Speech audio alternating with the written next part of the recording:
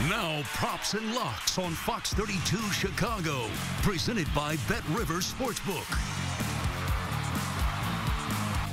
Good Sunday morning and welcome to Props and Locks. I'm Caitlin Sharkey. Week 11 of the NFL season brings us a Bears bye week, but plenty of other games and bets to break down courtesy of Bet Rivers Sportsbook. Joining me every Sunday morning, VSiN expert Danny Burke. And Danny, no Bears this week, so we begin with the NFC North leading Packers. Packers and Indy taking on the Colts. Indy favored by one and a half. Packers coming off that close win over Jacksonville last week.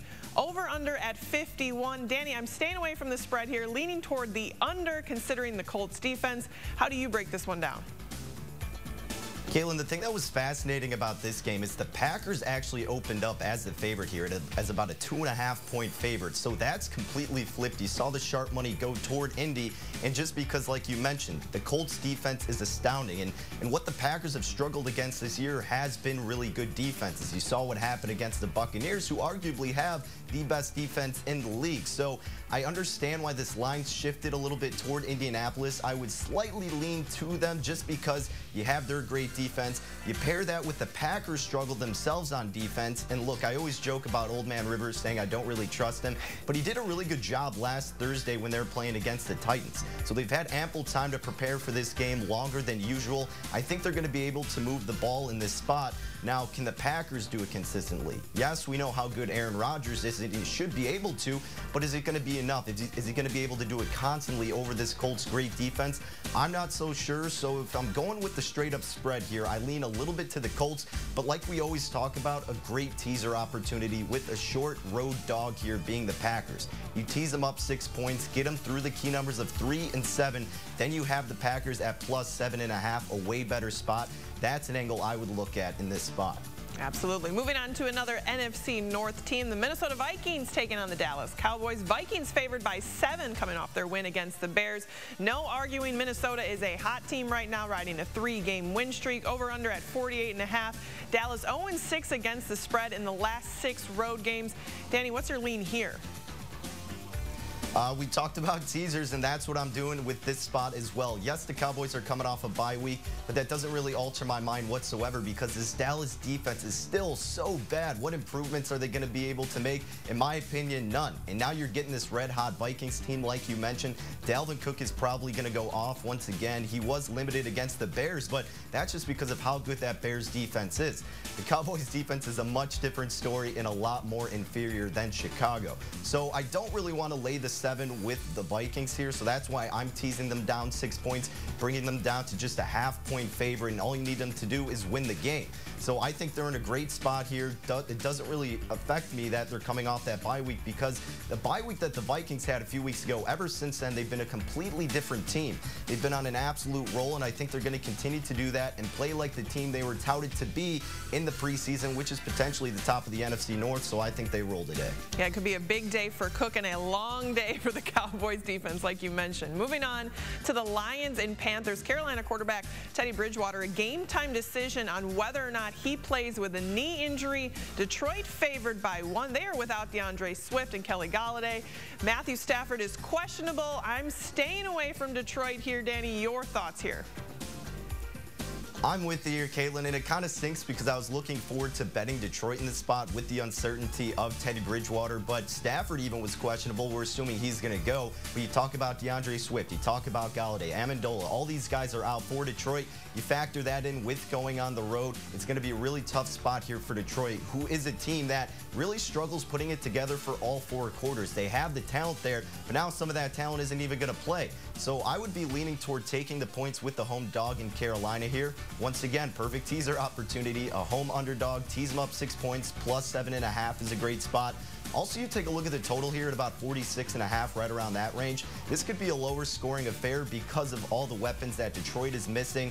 And the, Pat the Panthers defense really isn't that solid, but they show up when they need to. And Detroit's defense, yes, they've had their lapses too, but this could just be an ugly, slow-paced type of game with all these injuries. But overall, I'd be looking at Carolina as the dog in this spot.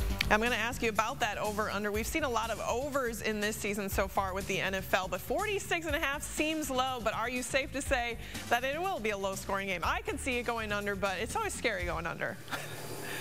It, it, really is, and everybody jokes, Caitlin, because they've been saying unders are a sucker bet so far in NFL and college football too, because the refs help out the offenses so much. We see with these pass interferences and just every call they usually get toward their side, it's the advantage that way. And people love betting the overs; they love seeing points. So it is hard to do it, but there are certain opportunities when that is the sharper play. Specifically in primetime games, you see a lot of under action by the sharper players because the public loves to root for points, and they typically go to the over. But for this game, it is a little bit lower, so overall I'm staying away from it, but would gravitate toward the under, thinking it's going to be kind of one of those ugly games with all the banged up players. All right, we shall see. Time for a quick break. Still more to come on props and locks as we continue with Week 11 NFL action. And as always, you can place your bets at betrivers.com or using the BetRivers mobile app. We're back after this. Welcome back to Props and Locks. I'm Caitlin Sharkey, joined by VSiN expert Danny Burke. Danny, let's continue looking at some of the best bets and the odds of the week. Next up, the top teams in the AFC West, the Kansas City Chiefs and Raiders. KC laying seven and a half.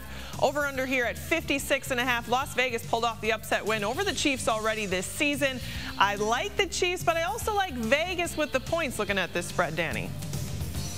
Completely agree with you here, Caitlin. Look, everybody's going to be on Kansas City here. They're coming off a bye week, and it's a revenge spot for what happened at home. Like you mentioned, they lost 40 to 32 the last go around. So I think the Chiefs do get the win, and that's not shocking saying it because the Chiefs are one of the best teams in the league. But where it gets tricky, of course, is with that point spread.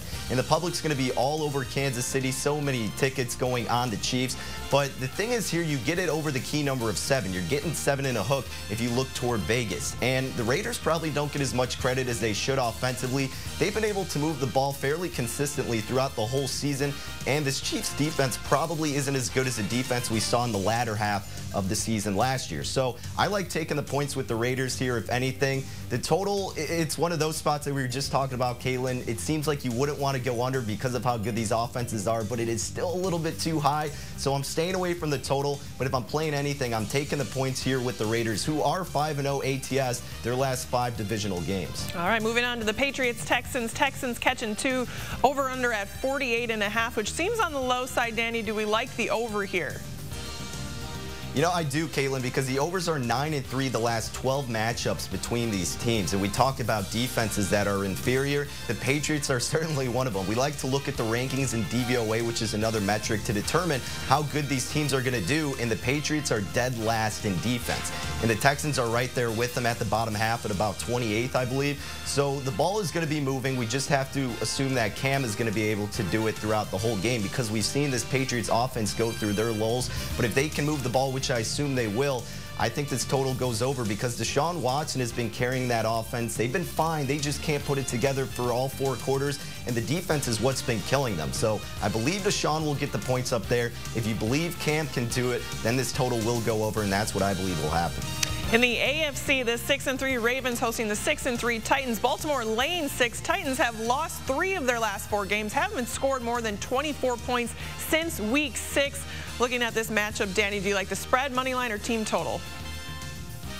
You know, honestly, Caitlin, I'm staying away from all of that. I like a prop in this spot, and it's Lamar Jackson passing yards 219 and a half. Now, I know everybody's probably freaking out. How could you bet Lamar Jackson over his passing yard props? He's only averaging 196 passing yards per game, but think what happened last week in that monsoon of a game. He had his second best passing performance, 243 yards, so he was still uh, able to sail way over that prop mark.